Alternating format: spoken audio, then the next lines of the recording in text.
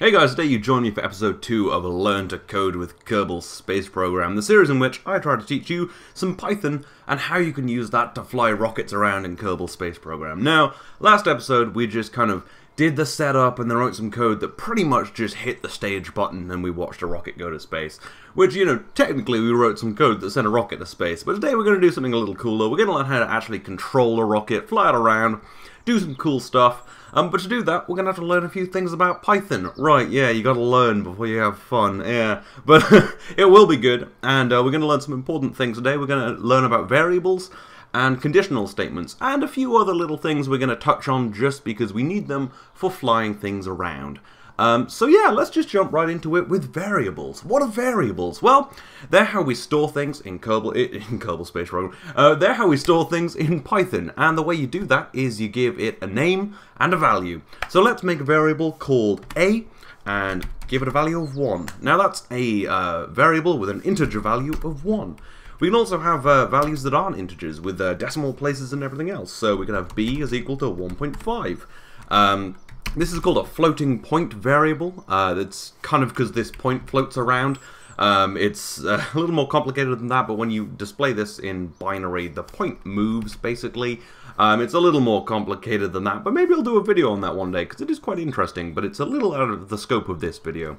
And we can also have things like strings. Um, last time we did a print statement where we printed um, hello world, like this. Uh, and that right there, that's a variable. Um, well, it's a value at least. Um, and this can be assigned to a variable, uh, like this.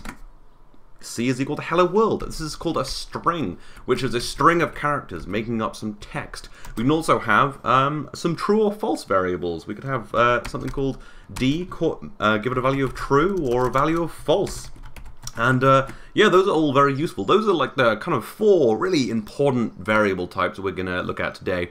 Um, and uh, yeah, there will be more as we'll get onto it. Uh, you may remember from last episode, we did something like this. Vessel is equal to, uh, no, no, no, we did a connection is equal to um, krpc.connect, like this. And that is a variable with a value of whatever is returned from this function right here. Now again, that's a little out of the scope of this video, but you can see that um, a, a, variable can be almost anything, and you can build your own types of variables. It's a little more complicated than that, and we'll get onto it at, an, at another time. But for now, let's just uh, focus on these basic types. They're called types, strings, floats, um, uh, integers, uh, boolean variables. So a true-false variable is called a boolean.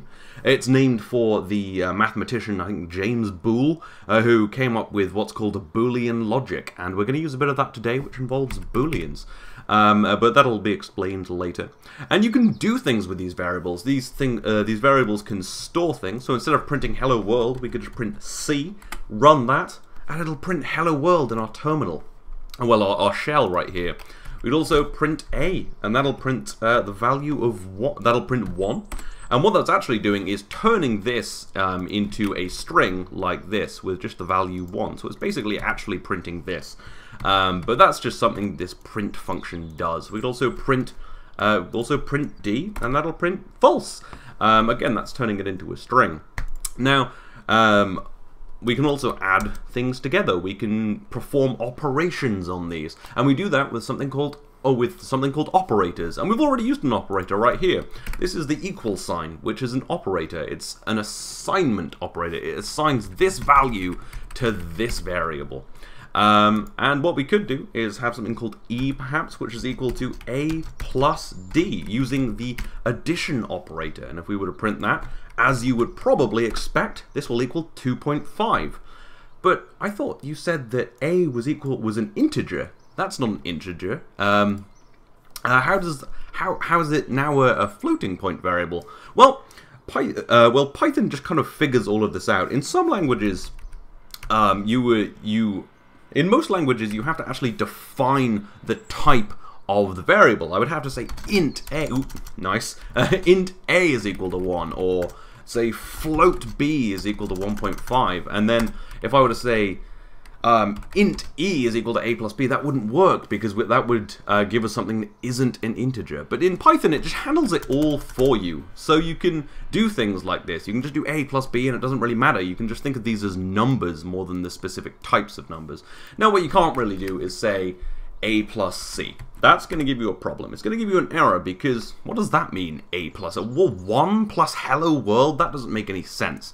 We can maybe do 1 plus d, though. If we run that, what happens there? It's equal to 1. That's interesting. This isn't equal to anything. Well, what if we change this to true? What would happen then? We'd get 2. Because you may know in, in uh, computing we use something called binary with a 1 that is on or off or true or false. So really, uh, true and false are actually just kind of equal to 1 and 2. Um, so yeah, that's a, a, little extra fun thing. But yeah, we can also do uh, Things like um, we can do more than just add things together. We can take things away from each other. So we can do uh, 1.5 minus 1 like that. Uh, we can multiply things together. Um, let's change this to something slightly more interesting. So 2 times 1.5 is 3, of course. We can divide things. 2 divided by 1.5 is 0.75. Um, we could square this. b to the power of... So let's say we wanted to square a a to the power of 2. That's what that does. And this is another operator. And that'll give us 4. And what we can do is assign a to a plus b. We can do that. That just gives a this new, what, oh yeah, that doesn't exist anymore. Um, we can do a is equal to a plus b. Now I know I'm covering a lot of ground right now, but I'm just trying to give you an overview of this. What I'm going to do is, I'm going to link all the resources I use in the, well, all, a bunch of helpful resources in the description, including just a table of all the operators and what they do, so you can really study it if you want, but I'm just trying to go through it and show you what you can do. Um, so of course, now if I were to print a, uh, a is now equal to uh, 3.5, b is still equal to 1.5, but yeah, you can, um, you can add something to itself, basically. Or you could even do a, a is equal to a plus a, um, like so. And maybe you didn't want to write all of this. Maybe you just want to add b to a, but you want to do it a little quicker. You can use this operator, a plus equals operator. That's just a little shortcut, basically, which is basically saying a is equal to a plus b, but you can just say plus equals b. Um, you can do the same with minus, by the way, um, and multiply and everything else. Uh, you can do this. Um, a is equal to A times B. Um, yeah, and those are the basic operators for this kind of thing. So we've got plus, um, we've got addition, uh, subtraction, multiplication, division, um, exponent, plus equals, minus equals, times equals, which is this, just A is equal to A times B. Um, so yeah, again, I'll link all of that in the, I'll, in the description. Um, I will be using this a lot today and in the future. So if you're like, what's happening right now? We're gonna go, uh, we're gonna use this a lot, and you're gonna get used to this a lot more. I just, I just wanted to cover all of this, what you can do with variables. Something else you can do, an operator I missed, I've realized, is a modulus operator. It's a modulus operator? Well, it gives you the remainder of something divided by something else. So let's say we had 25 and we want to divide. we want to see what 20 for what the remainder of 25 divided by 4 was. We could do this and see what the remainder is. Now the remainder is just 1 because of course you can go um, uh, 4 times 6 is 24 uh, giving us a remainder of 1. If I were to do 3 would get a different value. 1 again because numbers I guess. Um, yeah, actually most of them are going to be 1. Let's say 7. Um, a of the, this should give us 4 if I'm not stupid. Yay, there we go. That just gives you the remainder. So yeah, that's variables and operators. A brief whistle-stop tour, but the best way to learn this is to do things with it, and we will be doing that today and in the future. And just a quick note uh, before we move on about like naming variables. Um, so you can name them basically anything you want, but they do have to start with letters, and they can only uh, really include letters, numbers, and underscores. Um, there may be some other things they can contain, but I think those are the three. And I don't believe they can start with numbers in Python. I'm fairly sure that's true in Python. It is in most program programming languages. Um, so yeah, uh, just bear that in mind when naming your variables.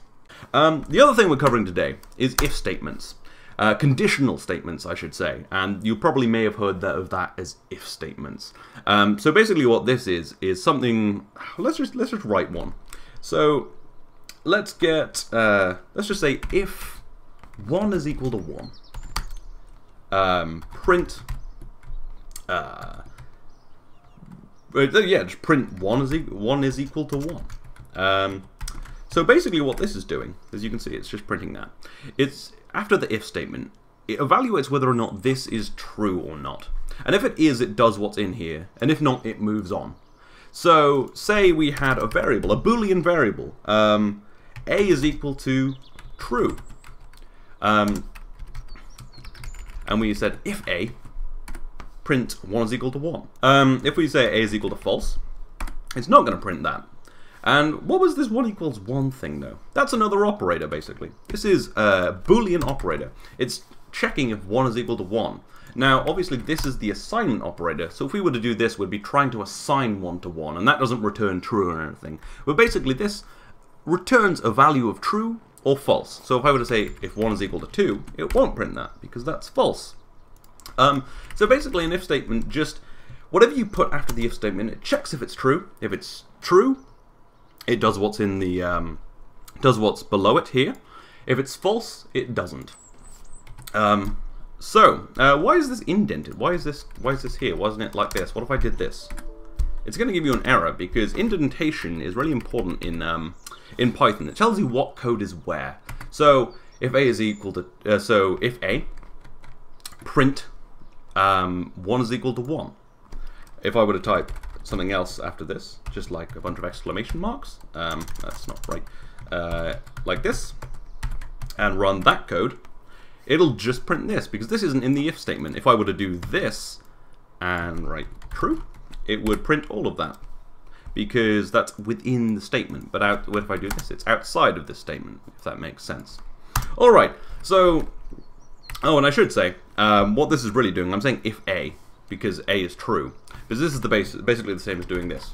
If the value in there is true, if the value is true, um, and that'll print that as well.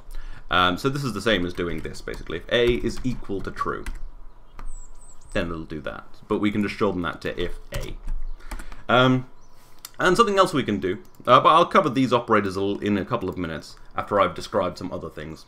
So what if we want to do something else if A is not true?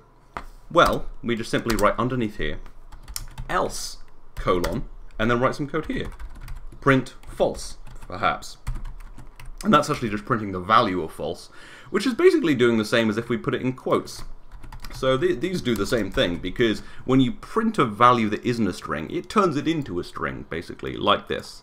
So anyway, uh, yeah, if I were to print that. It would print A is equal, it, it would print true because A is true if I were to do this.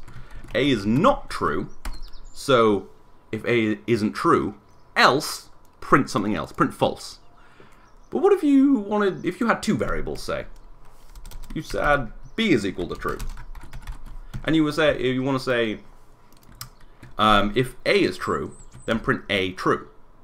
If, uh, else if I want to print B as true. Well, then we just type else if. Well, actually we type L if, which is a shortening of else if, elif.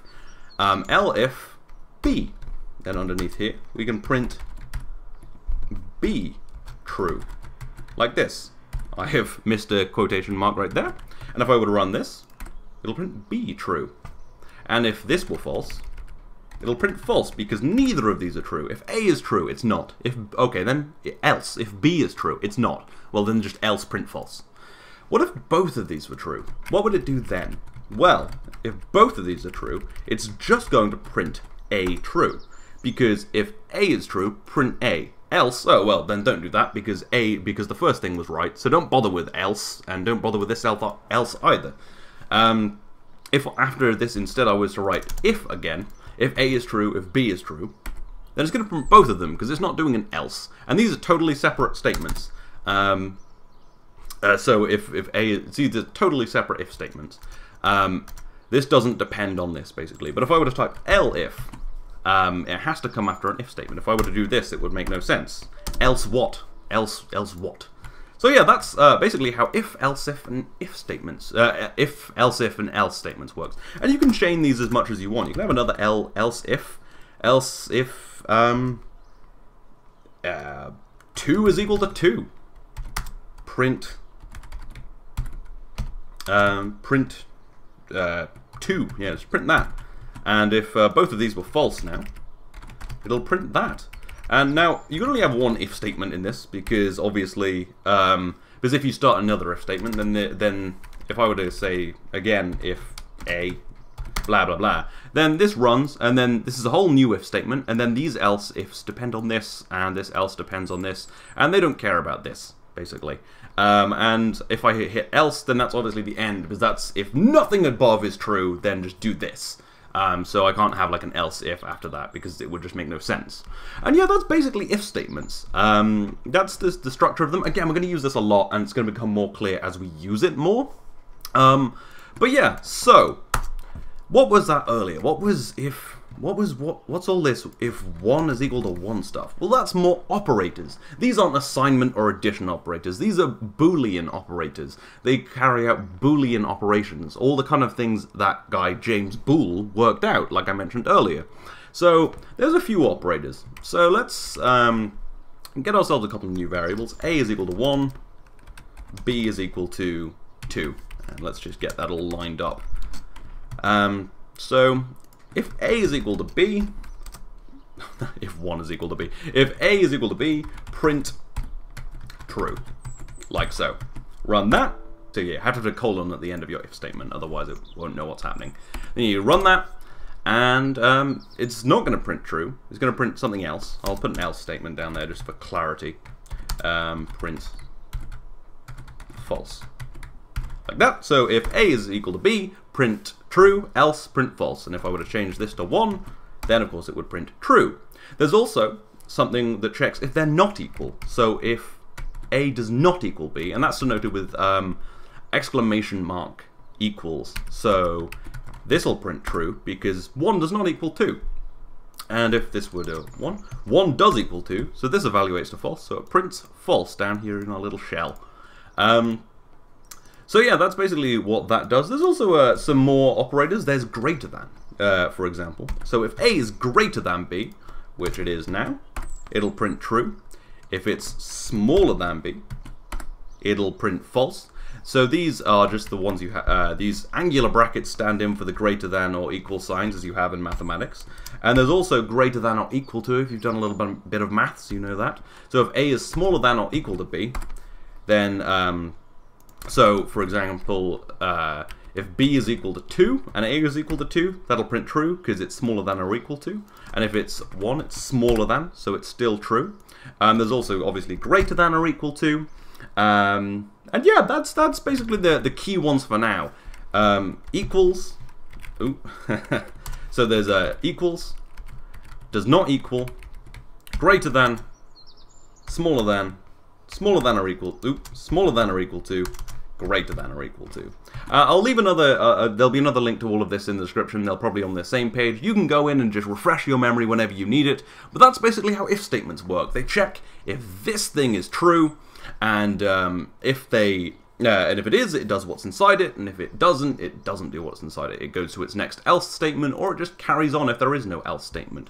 Something else I have realized I've just forgotten is uh, you can do more than one evaluation. If A is greater than or equal to B, or if B is equal to 2.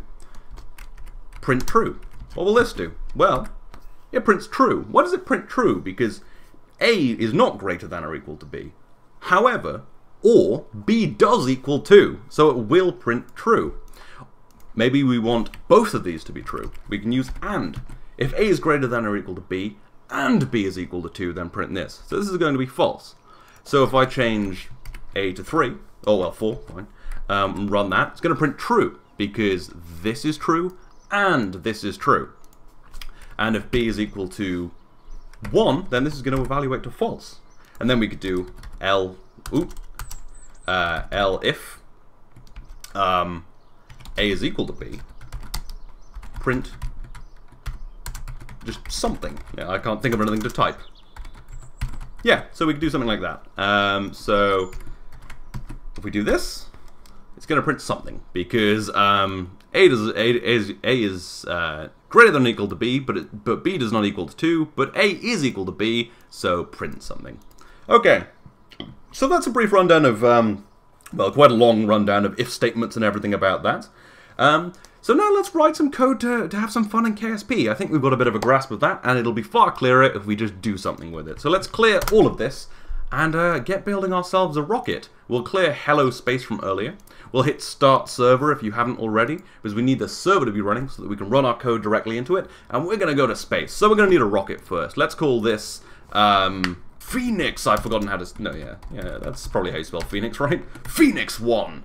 All glorious and everything. Let's give it a parachute, because we're going to want to land this today. We didn't land the one yesterday. We Uh, yesterday. Um, in the last episode, we just let it crash. So let's just build ourselves a fairly basic rocket for flying around a little bit. Um, so yeah, grab that. Grab some of that. I, if you just build it fairly similarly to me, this is all going to work out fine, but uh, yeah, you're going to want it to have the same amount of stages and everything as mine because we're going to be doing something, I guess, specific. You could just build an exact replica of this. In fact, it would probably be quite good if you did because then this will go very smoothly. anyway, let's give it some launch clamps as well put this on the ground, and uh, get it launched. Just a real simple rocket. That's all we're going to do today, is just a nice, simple rocket and leave it on the pad. So, what are we going to do today? Well, with all of that knowledge, I think it's about time we controlled a rocket around. So let's do what we did last time. Let's import the KRPC library. That's all the KRPC code we're going to use. We're also going to need a connection. Um, I'm just going to call it con today because it's a little quicker to type. Um, and programmers love to uh, shorten things to make them quicker to type. So we've got our connection to the game. We're going to get ourselves our vessel the same way we did last time, just going through our connection um, you can call your variable names by, by the way, whatever you want, but try to pick logical names so it's easy to read and understand, um, just in case you're coming back to it or one day someone else is reading your code, as people have to read my code every day, and I'm sure it's terrible. anyway, so we're going to go to uh, connection.space center.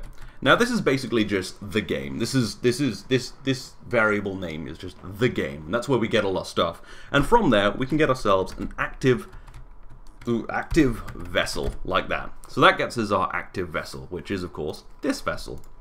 Um, and then what are we going to want to do? Well, we're going to want to make it launch. Now, this is a liquid fuel engine, so the first thing we want to do for launch is throttle up. So what we're going to do is get our vessel. Vessel dot control. This is uh, something within vessel, the same way active vessel is within the space center, which is within the connection. Control is within the vessel. So vessel.control um, contains something called throttle, which is just our throttle value. So we can set this to 1. This is a number variable. So we could also set it to 1.0 or 0.5. But we're just setting this variable to 1, and that'll set our throttle to 1. We're also going to want to turn on our SAS because that's very important when you launch. So we're going to go to the control again. We're going to say SAS is equal to true. This is a boolean variable because SAS can be on or off, true or false. So that's what that is. Um, and then we're going to want to launch the same way we did last time. So vessel dot control dot activate next. Ooh, screwed that up. Next stage with some brackets on the end. Now this isn't a variable, this is a function within a program that we're calling, and this this runs some code, some code someone else has written within KRPC. And what that does is it activates our next stage. So let's run that right now. Let's just hit F5 and it's just going to run within the game. You're going to see it's throttling up and staging, and uh, that's it. That's what it's done. It's uh, throttled up, locked the SAS as you can see here, and hit the next stage. So that's good. So we our program is stopped um, by itself, but if it some for some reason hadn't, we could hit Control C, and that would interrupt the program. All right, let's revert back to launch. So that's the basics. Now we're going to want to control it. So what we're going to need is something called a while loop. Now, I'm not covering this in a lot of depth today. I'm going to cover loops properly next time, but to do things, we're going to need a while loop. And now what a loop is, is it is just something that loops. It does the it does what is within it as many times as you tell it to. So what we're going to do is type while true and then there's some we're going to write some code in here. We're going to write some code down there. And you'll notice this is a lot like an if statement. Instead of writing if though we write while and then there's a condition. So we could also write while 1 is equal to 1 but for now we're just going to give it the value true. So it's always going to be true. Um, so what that's going to do is we're going to write some code in here and that's just going to keep repeating the code. So our, all, our other programs we wrote would just run and then end. But this isn't going to end until we tell it to end by hitting Control C in here. So, that's just fairly simple. I'm going to explain loops in far more detail next episode, but we do need this for today. So what we're going to want for controlling our vessel is something we want to know what it's doing. And all we're going to care about today is its altitude. So what we're going to do is create a variable called altitude within this if statement and uh, this while this while loop, sorry. And altitude is going to be equal to vessel dot flight. That's a function which returns you basically what the telemetry of the vessel, the telemetry of the vessel. And then we're going to get a variable called mean altitude. This is the mean altitude of the vehicle above sea level. And let's just print that so we can get an idea of what that is. Print altitude. Now, what I, I guess I didn't explicitly say, but what is true is um, within an if statement, you can write as much, or within an if statement or a while loop for that matter, you can write as much code as you want. What we could have done is said if true, for example, um, print something, blah blah blah. Uh, a is equal to 1, uh, B is equal to 2, A is equal to uh, A is plus equals B, print B, and all of that would happen if true, basically. So yeah, I didn't quite explicitly say that, but that is what you can do. You can write as much code within that as we as you want, and that's what we're going to do with this while loop. So anyway, let's just run that. We're going to run this piece of code. We're going to put this over here so we can see it. And you can see we've got a pretty accurate representation of our altitude just being printed to our terminal. So you can see we know what's happening now. We know what altitude we're at. So let's uh, stop this program by hitting Control C, and that's going to stop it. Um, and then we're going to, again, revert to launch. And put this back here. Um, Alright, so now we know our altitude, we can do some things. Let's say, once we get to a, uh, a kilometer up, we want to start turning east. So what we're going to want to do is say if altitude is greater than a thousand, we're going to want our vessel, our vessel's control dot yaw to equal one. We're going to want to yaw fully to the right. If we said minus one, it would yaw to the left. If we said 0.5, it'll yaw half. But one is full yaw to the left. But then we don't want to yaw the whole way up. We want to turn over a bit and then stop. So let's say L if altitude is greater than 1500. Oh, I've spelled L if wrong. Nice. Make sure you spell it wrong. No, L if altitude is greater than 1500, vessel oop, dot control dot yaw is equal to 0.5. But that doesn't really make sense because something can both be, uh, its altitude can both be over a thousand and over 1500. So once it's over 1500, it's going to try and do both of these. Okay, well let's say if altitude is greater than 1000 and altitude ooh, alt, altitude is smaller than 1500. So while we're between an altitude of 1000 and 1500, we're going to turn fully, and once we're over a 1500, we're going to turn half. So let's run that now, see what happens. So if you got that right, oh, I haven't. I've missed myself a colon. I will do that a lot because I don't write a lot of Python in my day job. But anyway, so we put the colons on there, and then we hit F5 to run it, and it runs. So let's watch that altitude and make sure it turns over once it gets to a 1,000. That's 900 and a 1,000, and it turns. Nice. And then it gets to 1,500 and turns a little less. Very nice. Okay, so let's stop our pro program by hitting Control-C or whatever it is in the editor you're using. But if you're using Python, just hit Control C while here. Oh, I reverted to vehicle assembly. I meant to revert to launch. Anyway, so that's all well and good. So that turns now. But then we're going to want, at some point, for it to stop turning entirely. So let's say at 2000 it's going to stop turning. So else vessel dot control dot is equal to zero. But obviously we're going to need to do that after 2000. So let's say, um, else if altitude is greater than 1500 and altitude is smaller than 2000, turn that much. And then once it's above that, it'll set its control dot to zero. All right. And then at some point we're going to want to stop. We're going to want to come back. So let's say we get to 5,000 meters. We're going to want to turn off the rocket and come home. Okay, all right. If um, altitude is greater than 5,000 meters. Uh, vessel, ooh, vessel dot control dot uh, throttle, like we did earlier to throttle it up. We're going to set it to zero, and that'll turn off the rocket. And then we're going to want a stage, because look, uh, we've got a separator here, and then a parachute. So, let's say, um, just after that, um, if altitude, ooh, altitude is greater than 5,200 meters, we're going to say vessel dot control ooh, dot stage uh, no not dot stage dot activate next stage like so. And you know what? We're probably going to want to turn off um, our SAS because we're going to want it to follow the airstream down you know when you're coming back into the atmosphere it's naturally stable we're going to want to do that so we're going to want to say vessel dot ooh uh, good spelling dot SAS oh my god what is wrong with me dot SAS is equal to false, like so. And then you have to capitalize the F in Python when you're writing booleans. Okay, so that's looking good.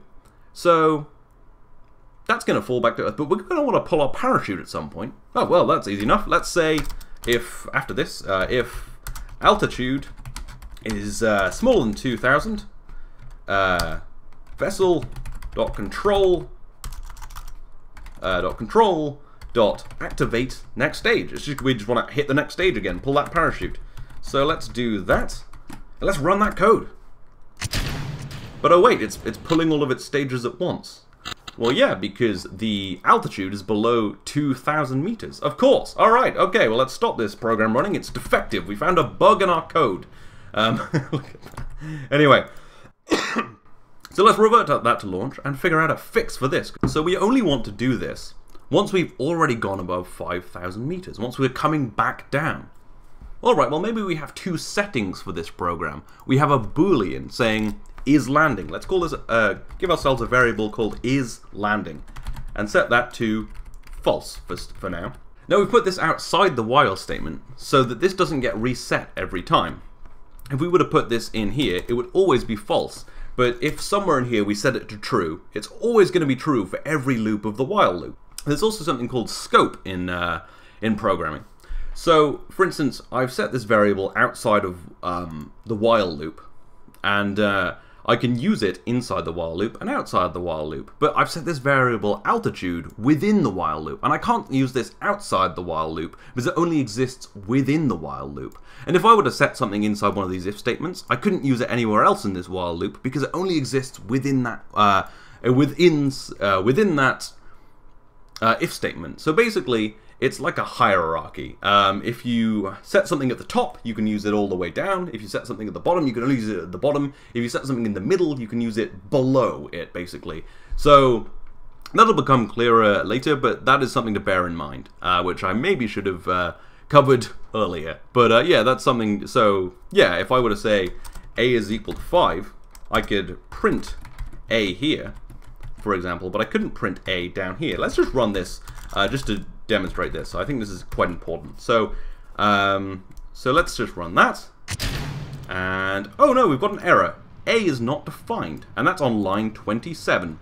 Um, so line 27 is right here, as you can see, line 27, because A isn't defined, because it's inside this if statement. But if I were to put this uh, if statement, but if I were to say A here, and uh, rerun this program. Let's revert to launch and rerun this program. Um, give it a second. Run it. Then it's going to have no problem. It's going to print A a bunch of times. It's going to print it loads of times because it can print it everywhere. And the same would be true if I put A here. I could print it inside all of this because um, it's above everything else, if that makes sense. Anyway, I thought that should that's quite important, so I'll cover that. Sorry if that was a bit random, but uh, it is very important. Anyway, let's get rid of all of that and focus on this very useful variable, is landing. So, this happen, this little thing down here happens in landing. So, let's say if, let's say all of this happens if not is landing. Maybe I should just call it landing, so it'll be more like if not landing.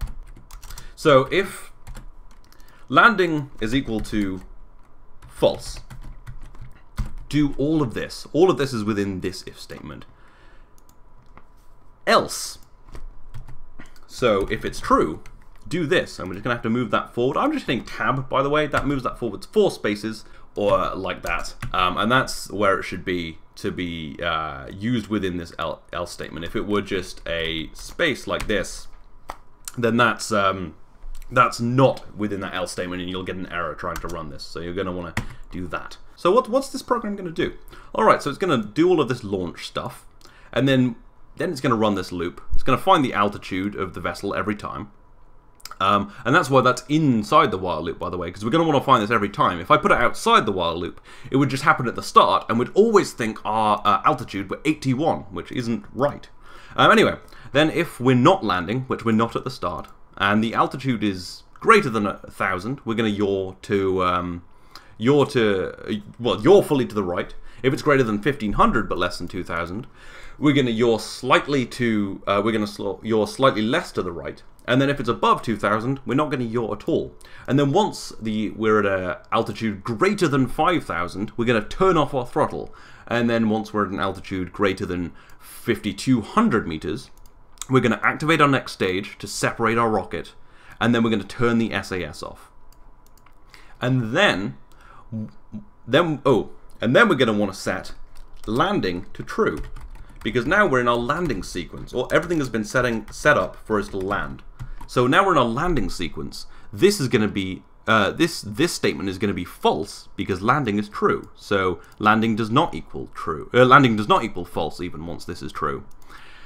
And then when we come back around, the else is going to be triggered, and we're going to just basically check every time, is our altitude smaller than 2000? And when it is, when we've fallen below 2000, we're going to hit the next stage again, and that's going to pull our parachute. So let's run that right now. Okay, it launches. So that's all going well. And we're just going to wait till we get over uh, 1,000 meters and see if it turns. And there we go, it turns just like it should, because we're not landing, but we are above uh, 1,000 meters. And now we're above 1,500 meters. We're turning a little less. Now we're above 2 kilometers. It's turning even less. It's not turning at all. It's just flying straight. The next landmark will be 5,000 meters. Um, we're just going to see at 5,000 meters, the throttle should turn off. It did. And then we separate at 5,200 meters. We fall behind. And uh, now we're on a descent mode. We're in landing mode. Alright, so we're going to time warp a little bit. You can time warp while your code's running, that's fine. It might act weirdly if you have lots of things happening, but for now it's okay. And then we're going to get below 2,000 uh, meters and see if our parachute is pulled. So let's slow down time and see if that works. 2,000 meters. Our stage is activated, our parachute is pulled, and we are all good. Now we should land absolutely perfectly um, because parachutes work like that. And then you can stop your program by going into the uh, going into the um, shell and hitting Control C, and that'll stop your program. And there we go. That is a quick little program that flies your rocket around a bit and then uh, separates and lands it with a parachute. And that's all we're learning today. I hope everything was clear. If anything isn't, feel free to go back and watch it or look up extra bits online. As I said, I'll link, uh, rink, uh, link things in the description like a list of operators and variable types and just anything I think might be helpful for you to read through if you really want to. Um, play around with this a little bit in probably, hopefully, less than a week, uh, depending on my schedule. Uh, the next episode will be coming out and we'll be doing a lot more with loops, and I think uh, things like scope will become far more uh, obvious. Where, you know, like where I was placing the variables in if statements and whiles and seeing where they worked and where they didn't. But yeah, I've thrown quite a lot at you today because it's not actually a particularly easy thing to just fly a rocket around. So I've had to kind of put a lot into this episode, and it has been a little longer than I thought it would be. It's actually like almost at 40 minutes now. So uh, yeah, I am going to call it there. Um, but I hope you've enjoyed it. Uh, I hope things. I hope it is clear. If you have any suggestions for me uh, about commentary style, or if I'm just not being clear enough. Because to me, this is all stuff I do every day, so I might just be skipping over things I don't think are important. But if there's anything you don't understand, just just leave it in the comments. And uh, yeah, uh, my code will be linked in the description. If you just can't get yours working, you can download my code and craft and uh, run it like that. But anyway, this has been episode 2 of Learn to Code with Kerbal Space Program. I will see you next time.